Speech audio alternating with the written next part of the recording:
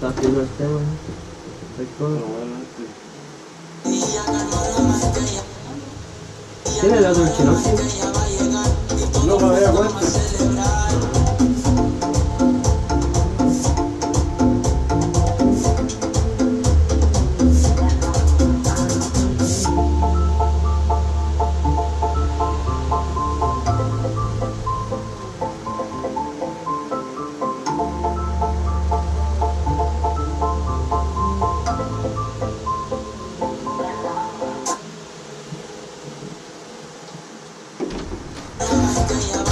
Pero ya está.